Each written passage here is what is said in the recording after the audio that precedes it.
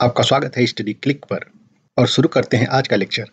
Artificial intelligence machine learning और deep learning को हम समझते हैं। अगर रिसेंट पास्ट में देखें तो ये जो आर्टिफिशियल इंटेलिजेंस है मशीन लर्निंग है और डीप लर्निंग है, ये मोस्ट टॉक्ड अबाउट टेक्नोलॉजी है आज की कमर्शियल वर्ल्ड में। किस लिए? To innovate intelligent machines and applications इनको समझने से पहले ये दो कोट हम देख लेते हैं। एलन मस्क जो कि टेक्नोलॉजी एंट्रप्रेन्योर हैं और इन्वेस्टर हैं, इन्होंने क्या कहा है? इन्होंने कहा है कि ह्यूमनिटी को डिस्ट्रॉय करने के लिए एआई का बुरा होना ज़रूरी नहीं है। अगर एआई का कोई गोल है ऐसा तो ह्यूमनिटी केवल उनके वे में, उनके रास्ते में बस एक पड़ाव है। और अगर एआई ह्यूमनिटी को डिस्ट्रॉय करना चाहता है तो उसको डिस्ट्रॉय करेगा विदाउट थिंकिंग बिना सोचे ही वो ह्यूमनिटी को डिस्ट्रॉय कर देगा। इसके लिए कोई हार्ड फीलिंग्स नहीं होनी चाहिए। दूसरा बहुत इंटरेस्टिंग है, वो देखिए मार्क क्यूबन जो कि अमेरिकन एंट्रप्रेन्योर हैं और टेलीविज़न पर्सनालिटी हैं, इन्होंने क्या कहा है? इन्होंने कहा है कि artificial intelligence deep learning machine learning whatever you are doing मतलब आप कुछ भी कर रहे हैं, अगर आप आर्टिफिशियल इंटेलिजेंस डीप लर्निंग या मशीन लर्निंग को नहीं समझते हैं तो आप इसे लर्न करिए, आप इनको समझिए। अदरवाइज़ क्या होगा कि आप डायनासोर बन जाएँगे within next three years आप चाहे जो भी काम करते हैं, आपको आर्टिफिशियल इंटेलिजेंस और मशीन लर्निंग या डीप लर्निंग की ज़रूरत पड़े या ना पड़े आपके काम में, लेकिन आपको इनके बारे में थोड़ा बहुत जानना चाहिए। तो चलिए देखते हैं इनके बारे में। हम आर्टिफिशियल इंटेलिजेंस के बारे में समझते हैं कि आर्टिफिशियल इंटेलिजेंस, जिसको शॉर्ट में एआई भी कहते हैं, ये क्या है? जॉन मैकार्थी ने आर्टिफिशियल इंटेलिजेंस टर्म कॉइन किया था।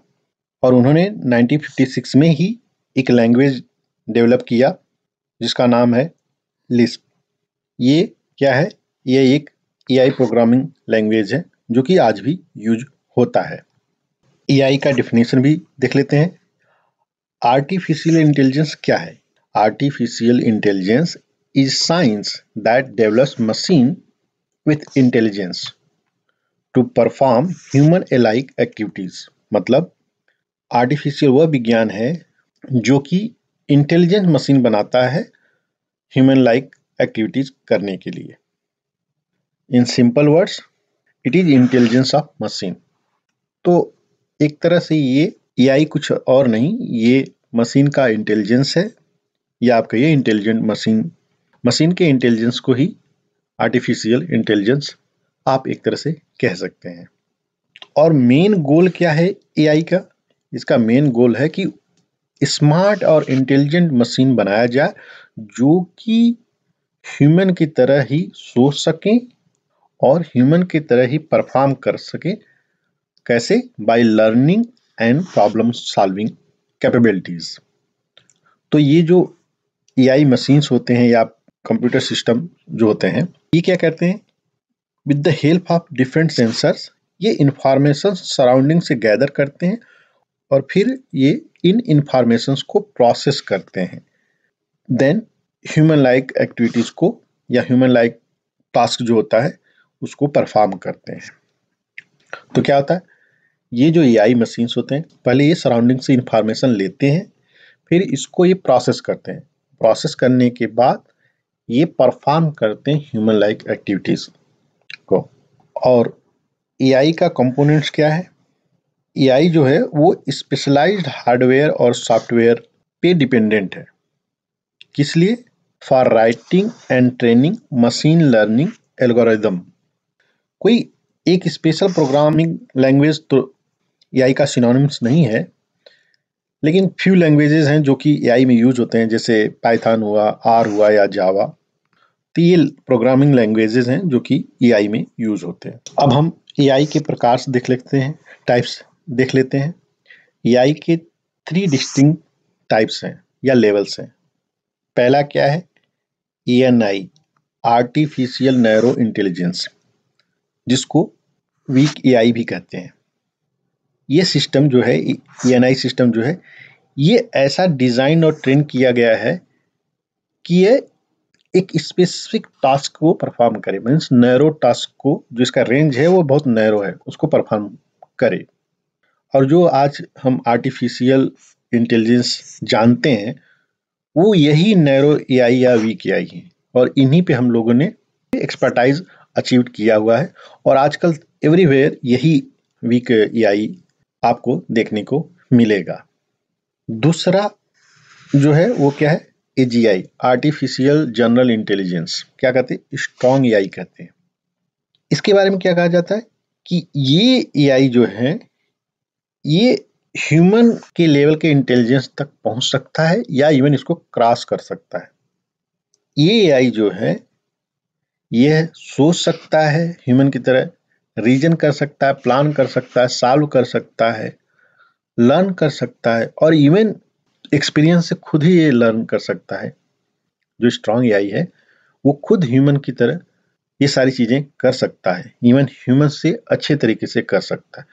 लेकिन ये AI still not a reality मतलब ये ऐसा साइंटिस्ट बनाना चाहते हैं, लेकिन अभी ये रियलिटी नहीं है। और जो तीसरा कंडीशन है, वो है आर्टिफिशियल सुपर इंटेलिजेंस ये क्या है? ये एआई जो बेस्ट ह्यूमन माइंड है, किसी भी फ़ील्ड में, उससे भी स्मार्टर एआई होगा। हर एक फ़ील्ड में ये बेस्ट ह्यूमन माइंड से अच्छा होगा, जो आर्टिफिशियल सुपर इंटेलिजेंस है एएसआई जो है। किसी भी फ़ील्ड में आप देखेंगे क्रिएटिविटी जनरल विजडम या सोशल स्किल्स जैसे हम सोशल स्किल्स डेवलप करते हैं, उन सब में भी ये बहुत अच्छा होगा compare to best human brain से, जो कि स्टिल नॉट रियलिटी तो वीक एआई और स्ट्रॉन्ग एआई में एक मेन अंतर है, उसको हम देख लेते हैं यहीं पे जो वीक एआई है, ये ह्यूमंस को एक स्पेसिफिक टास्क पे आउट परफॉर्म कर सकता है। जबकि स्ट्रॉन्ग एआई है, वो ह्यूमन को हर कॉग्निटिव टास्क जो है, उस पर आउट परफॉर्म कर देगा। मतलब वीक एआई है स्पेसिफिक टास्क जैसे हुआ कि प्लेइंग चेस इसमें ह्यूमन को हरा सकता है। लेकिन जो स्ट्रॉन्ग एआई है, वो ह्यूमन को सभी कॉग्निटिव टास्क जो हैं जैसे सोचना रीजन करना या सॉल्व करना प्लान करना, इन सब में ये ह्यूमन को हरा सकता है। अब हम एग्जाम्पल्स या एप्लीकेशन ऑफ़ एआई देख लेते हैं। एआई का एग्ज़ाम्पल है या एप्लीकेशन है मशीन ट्रांसलेशन में। जैसे आपने देखा Google translate self driving cars या सेल्फ ड्राइविंग व्हीकल्स बने हैं, जैसे गूगल्स का वाइमो है। एआई बेस्ड रोबोट्स बने हैं, जैसे सोफिया हुआ या आइबो हुआ। वॉइस या स्पीच रिकग्निशन सिस्टम हुआ या वर्चुअल पर्सनल असिस्टेंट है, जैसे एप्पल का सीरी है, अमेजोन का एलेक्सा है और ओके गूगल हुआ। ईआई क्लाउड बेस्ड ऑफरिंग्स भी हैं डिफरेंट कंपनियाँ ईआई क्लाउड ऑफ़र करती हैं, जैसे अमेजन का ए हुआ आई वाटसन का असिस्टेंट हुआ माइक्रोसॉफ्ट कॉग्निटिव सर्विसेज़ हुआ या गूगल का एआई हुआ। ये सब एआई क्लाउड बेस्ड सर्विसेज़ हैं। चेस कंप्यूटर्स भी हैं, जैसे आईबीएम का डीप ब्लू हुआ या डीप माइंड का अल्फागो है। उसके अलावा अगर आप और देखें तो फेसबुक टैग सिस्टम हुआ फेसियल रिकग्निशन सिस्टम हुआ ड्रोन्स हुए अमेजोन का एक इको आपने देखा है, वो हुआ। ये सब ए के एग्जाम्पल्स हैं।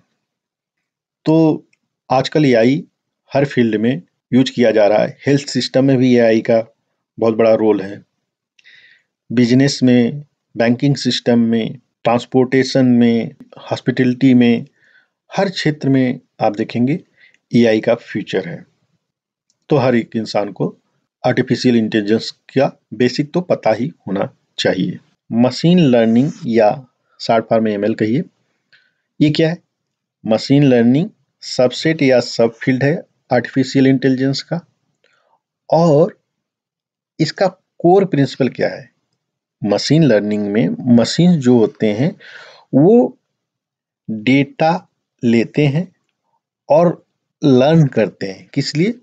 खुद के लिए वो लर्न करते हैं। मशीन लर्निंग सिस्टम जो होते हैं, वो क्विकली अप्लाई करते हैं अपने नॉलेज को और ट्रेनिंग जो कि उन्होंने डेटा सेट से लिया था। किस लिए? टू एक्सेल एट टास्क कैसे टास्क में? जैसे फेशियल रिकग्निशन हुआ स्पीच रिकग्निशन हुआ, या ऑब्जेक्ट रिकग्निशन हुआ ट्रांसलेशन मेनी अदर टास्क इन सब चीज़ों में विथ टाइम कैसे वो एक्सेल करें? उसके लिए वो खुद लर्न करते हैं। आसान भाषा में समझे। तो मशीन लर्निंग सिस्टम को अलाउ करता है कि वो लर्न करे रिकग्नाइज करे पैटर्न को ऑन इट्स ओन फिर वो प्रिडिक्शन करे। तो एक तरह से ये है कि मशीन लर्निंग में क्या होता है कि मशीन को कुछ डेटा मिलता है तो उस डेटा के बेसिस पे वो लर्न करता है और फिर पर्टिकुलर टास्क में अच्छी से परफॉर्म करता है। मशीन लर्निंग का एप्लीकेशन देख लीजिए क्या है। Sales forecasting for different products fraud analysis in banking product recommendations stock price prediction इन सब चीज़ों में मशीन लर्निंग का एप्लीकेशन है। अब डीप लर्निंग या डीएल को भी देख लीजिए। डीप लर्निंग क्या है? यह सबसेट या सब फ़ील्ड है मशीन लर्निंग का। That deals with algorithm inspired by structure and function of human brain deep learning क्या है? यह है मशीन लर्निंग का सबसेट जो कि किससे इंस्पायर्ड है? वो ह्यूमन के ब्रेन के स्ट्रक्चर और फ़ंक्शन से इंस्पायर्ड है। और डीप लर्निंग जो एल्गोरिदम है, ये enormous amount of data use करता है बोथ स्ट्रक्चर डेटा और अनस्ट्रक्चर्ड डेटा साथ ही साथ की इंपॉर्टेंट चीज़ जो यूज़ करता है डीप लर्निंग, वो है आर्टिफिशियल न्यूरल नेटवर्क तो जहाँ deep learning enormous amount of data use करता है, वहीं पे ये आर्टिफिशियल न्यूरल नेटवर्क यूज़ करता है। और जो इसमें एल्गोरिदम है डीप लर्निंग में, वो ह्यूमन ब्रेन के स्ट्रक्चर और फ़ंक्शन पे आधारित है या कहीं उससे इंस्पायर्ड है। और डीप लर्निंग का एप्लीकेशन क्या है? डीप लर्निंग का एप्लीकेशन या एग्जाम्पल्स हम देख लेते हैं। ये कैंसर ट्यूमर डिटेक्शन में कैप्शन बॉट के रूप में, किसके लिए? For captioning an image music generation में, इमेज कलरिंग में और ऑब्जेक्ट डिटेक्शन में। इन सब फ़ील्ड में डीप लर्निंग का यूज़ हो रहा है। तो डीप लर्निंग क्या है? ये मोस्ट सोफिस्टिकेटेड आर्टिफिशियल इंटेलिजेंस है, जो कि ह्यूमन ने डेवलप किया है। तो बेसिक डिफरेंस मशीन लर्निंग और डीप लर्निंग में देख लीजिए क्या है। मशीन लर्निंग जो है, ये मशीन को इनेबल करता है डिसीज़न लेने में। कैसे? बेस्ड ऑन पास डेटा मतलब मशीन लर्निंग जो है, वो मशीन को इनेबल करता है कि वो कोई डिसीज़न ले किसी काम को करते वक्त कैसे on the basis of past data जबकि डीप लर्निंग में क्या होता है? डीप लर्निंग मशीन को इनेबल करता है कोई डिसीज़न लेने में, कोई टास्क परफॉर्म करने में, कैसे? With the help of enormous amount of data and artificial neural network तो दोनों में बेसिक डिफरेंस क्या है? एक एक आर्टिफिशियल न्यूरल नेटवर्क का और यहाँ पे इनार्मस अमाउंट का डेटा बहुत स्ट्रक्चर एंड अनस्ट्रक्चर यूज़ होता है डीप लर्निंग में। जबकि मशीन लर्निंग में आर्टिफिशियल न्यूरल नेटवर्क नहीं यूज़ होता। तो ये आर्टिफिशियल इंटेलिजेंस मशीन लर्निंग और डीप लर्निंग क्या है? एक्चुअली हम जो एआई समझते हैं मतलब आर्टिफिशियल इंटेलिजेंस जो समझते हैं, वो समय के साथ बदलता रहता है। और ये जो टर्म्स हैं एआई टर्म्स हैं आर्टिफिशियल इंटेलिजेंस मशीन लर्निंग या डीप लर्निंग ये इंटरचेंजेबली हैं। ये जो वर्ड्स हैं artificial intelligence machine learning deep learning ये टर्म्स ऑफन यूज़ किए जाते हैं एक दूसरे के जगह। लेकिन ये वर्ड सेम नहीं है। इनमें डिफरेंसेस हैं। क्या डिफरेंसेस हैं? उनको देख लेते हैं।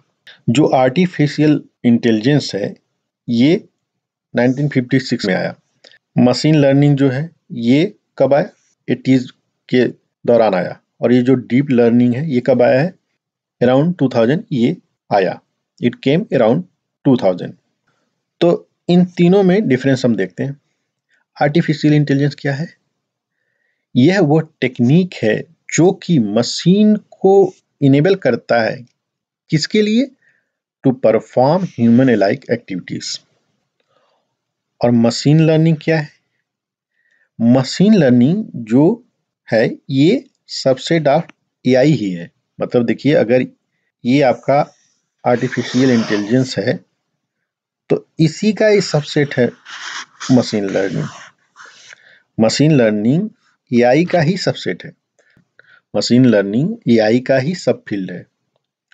तो subset of AI which enables machine to automatically learn and improve from experience इसमें वो मशीन्स हैं जो कि ऑटोमेटिकली लर्न करते हैं और इम्प्रूव करते हैं कैसे? अपनी खुद की एक्सपीरियंस से।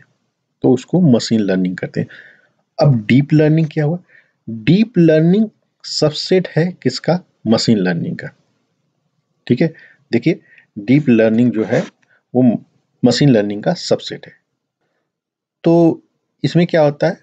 जो डीप लर्निंग है, ये क्या है? Subset of machine learning that uses complex algorithm and multi layer neural network to train a model इसमें कॉम्प्लेक्स एल्गोरिदम तो यूज़ होता है, साथ ही साथ वास्ट डेटा भी यूज़ होता है।